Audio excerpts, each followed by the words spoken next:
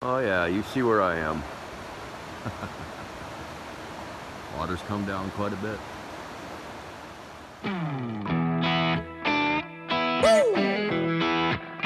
Alright.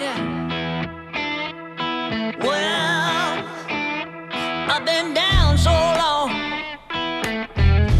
that my mind can't get no rest.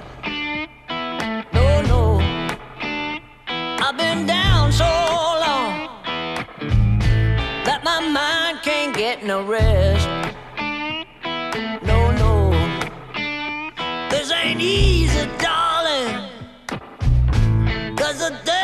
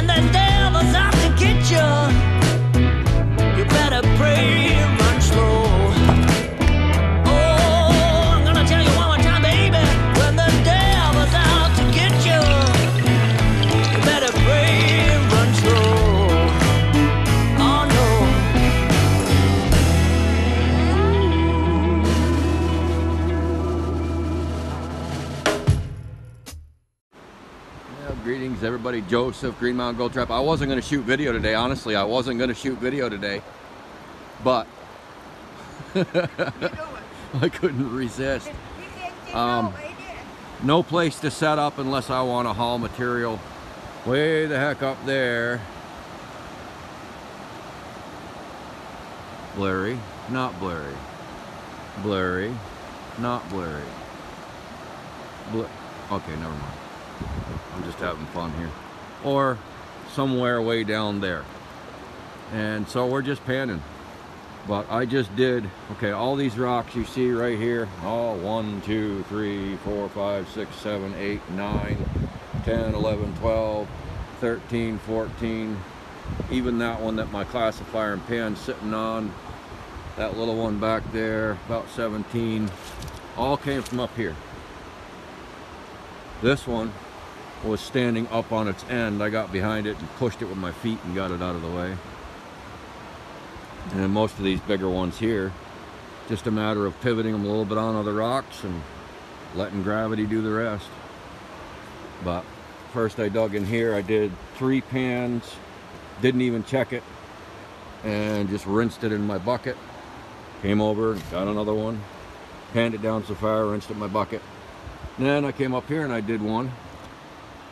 Up in here, behind all this stuff, that's a big boulder. And of course, this is where, when Irene ripped through here, this is another small river channel, so I'm not digging in the embankment.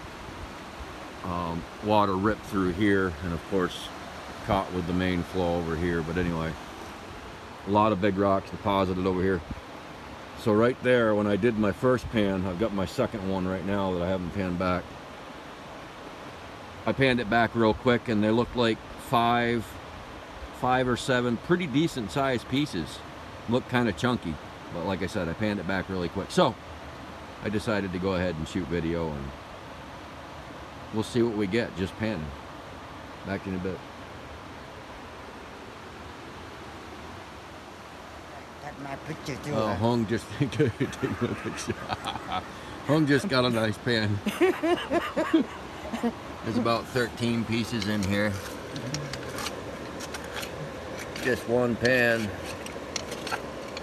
Nice. Digging right down in this little corner right here. Now she's gonna go for more. so thanks to Steve, my good friend and brother from up north. He made a well accidental discovery really. He uh, he got into a little bit of lidar. It's not the greatest lidar imagery, but he sent me a screenshot of what he took of this area. And as soon as I looked at it, I knew this whole area, and, and Wayne, I'm sure you're seeing this. I'm going to send you that picture in email. Maybe you got it before seeing this, but anyway, that mountainside up there is on this side of the river, and up up there, it's also hilly over here. So where that begins and then terminates, I should say where where it terminates up here, this whole area opens up. So this from here all the way over and down is one great big ancient alluvial fan. This whole area. So that's pretty cool. Pretty darn cool. But anyway, I thought I'd just share that with everybody. Pretty interesting.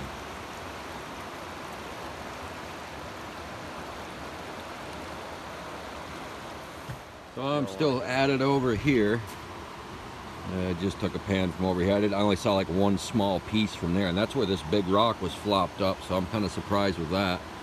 Might be up in here. Who knows? Um, I got my biggest piece out of this section over here. That was a good pan. I've had quite a few. I've been panning them back quick, and pretty much every one has gold in it. So it should be interesting. We shall see. We shall see. She's still in that hole. Alright. Here's Houngs for the day. She did pretty darn good.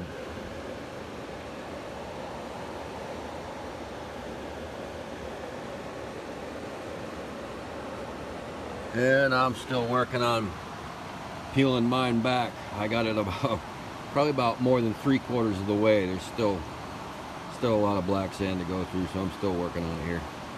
A lot of black sand. Back in a bit. Y'all want to get a better look at the trees that bottled up here during Irene. On this side, which you can't really see behind this, there's a bunch of them. But that's a big honking tree right there. But look over here. And that that's a that's a mountain. That is a great big that's got to be I don't know 15 16 feet deep of just nothing but trees all twisted up together.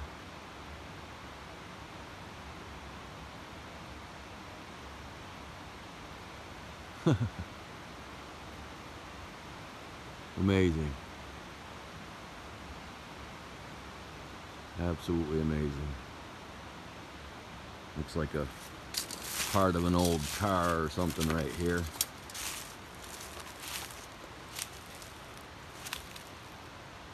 Yep. Yeah, there you go.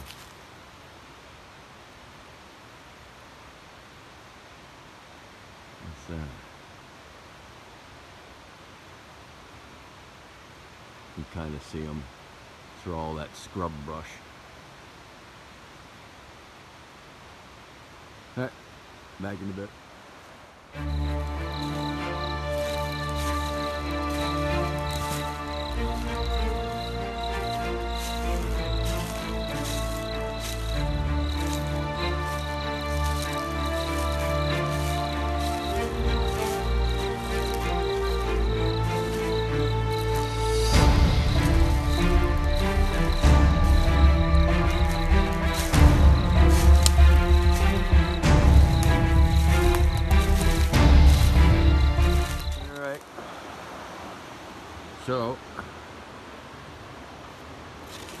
Picture in there afterwards.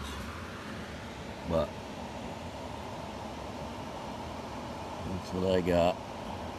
There's some chunky ones in there.